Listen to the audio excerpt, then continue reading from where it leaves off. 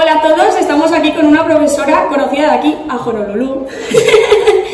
Eh, ella ha sido galardonada con el Premio Magistrales de la Universidad Politécnica de Valencia y yo supongo que a cualquiera que la haya tenido como profesora, pues no le sorprenderá. Hola Encarna, felicidades. Bueno, te queríamos preguntar primero que qué supone este premio para ti. Pues en principio fue una gran sorpresa porque de verdad no me lo esperaba. Hola Encarna, muchas felicidades por tu premio, te lo mereces, por ser una gran persona y profesora. Te queremos. Me ha servido de inspiración, pero eso sí, me dejaste sin palabras. Un viernes aquí en el colegio que llamaron del Politécnico y lo último que me esperaba era esto, pensaba que era algo de las pruebas Cangur, porque se iban a celebrar el 21 después de las fallas y eso me avisaron antes de las fallas y pensaba que era eso, entonces fue una gran sorpresa y, y luego pues la verdad es que estoy encantada porque como es algo que no te esperas, pues me ha encantado. Muchas gracias Encarna de parte de dos generaciones de la familia. Muchas gracias, Encarna. Hola Encarna, esta es la unión de la primera generación y una de las últimas que vas a tener. Muchas gracias. Muchas gracias, Encarna. Bueno, el premio eh, tenemos que enterarnos un poco mejor, pero parece ser que los que votan son los alumnos que van al Politécnico y, y, bueno, pues la pregunta, no sé qué pregunta les harán, si es el profesor que más te, no sé, te, te ha impactado o el que... Aunque ya no nos des clase, seguimos acordándonos de ti.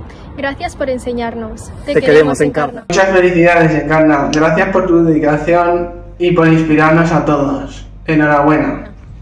Encarna es un sinónimo de inspiración, constancia, empatía y escucha. Sin un referente como ella no sería la persona que soy hoy.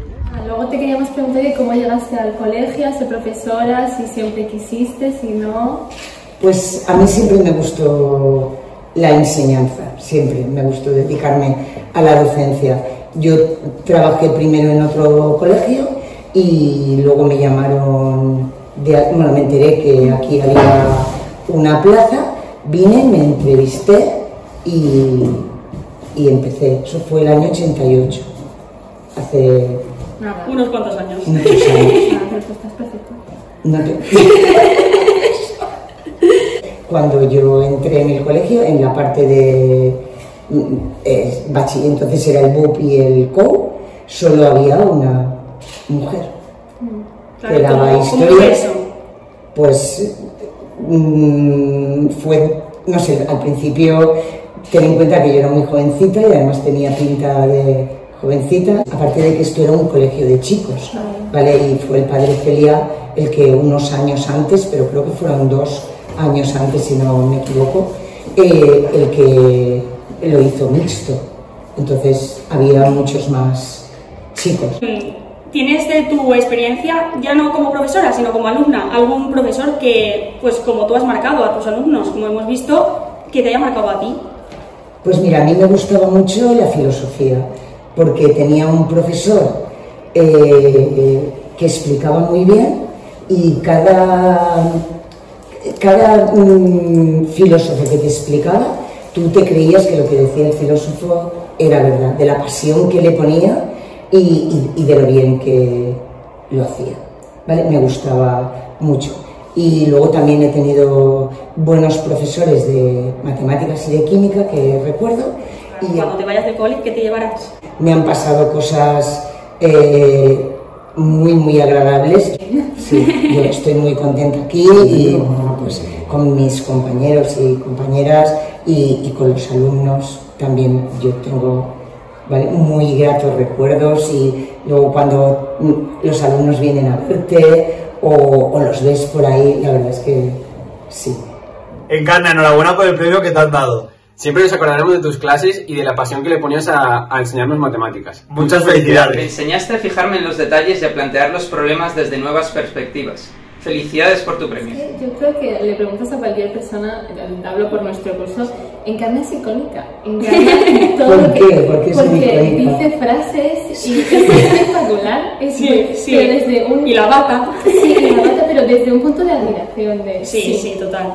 Encarna es Sí. espectacular. Sí. O sea, seguro que o sea, no es nada preparado, porque algunas veces las cosas que a veces digo en la clase es porque surge algo, y eso no puede estar preparado, no lo que vosotros vayáis a decir o lo que también escribo en los exámenes, hay unas cosas que, que han... Tengo un muy bien de encarna. ¡Oh, Dios mío! o un mudito, O un mudito. o un olé, es- Es espectacular. O la X que se nos va a Honolulu. Pues eso. No, es que, bueno, no me parece que. Primero no me tengo que enfadar porque os equivocáis, porque si uno, no sé, cuando sale a la pizarra o cuando hace algo se equivoca, no para eso está la, la clase, si no, no daríamos la clase, pero yo creo que no hay que dramatizar el que uno se equivoque. Es malo cuando es un examen porque, claro, ya, ya cuenta, ¿no? Y sobre todo, yo sé, para vosotros, pues en la EBAU no da lo mismo equivocarse que no, pero aquí creo que es un entrenamiento. Nada, muchas gracias por concedernos la entrevista. Y nada, que, que la huella que has dejado en el colegio es inmensa. Y Que todavía no me he ido, ¿eh? Bueno, ya, pero pero ya lo has dejado, imagínate. Claro, yo creo que este premio lo, lo, lo, te, lo, te lo diste todo lo que, que queremos y lo que. Pues, muchas gracias. A ti. Gracias.